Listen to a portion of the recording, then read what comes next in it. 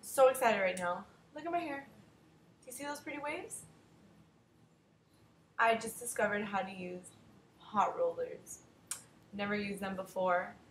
Um, I thought they were really complicated, but then um, Notorious No, Noe, sorry, I probably said your name wrong.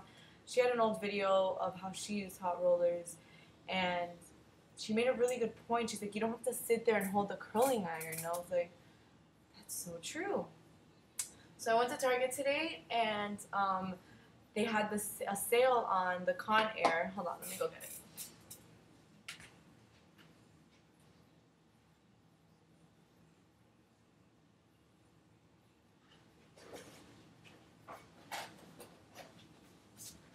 Okay.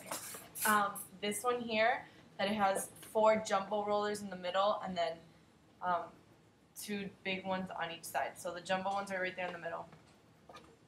And this is normally like 35 bucks on the website. It was on I was looking online already. It was like 30, 40 bucks online and stuff. And then I went to Target. It was on sale for 19.99. So check out your local Target.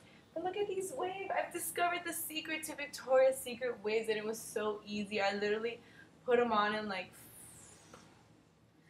eight minutes and then I sat and watched TV for 20 minutes and then you unclip them and it goes and they just roll out. So I'm just really excited and I wanted to share it with you guys.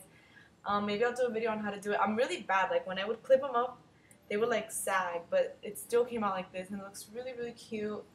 So yeah, thank you YouTube and No Noe, Notorious Noe. Hope I'm saying it right. Um, for inspiring me and showing me the greatness of hot rollers. Alrighty guys, ciao.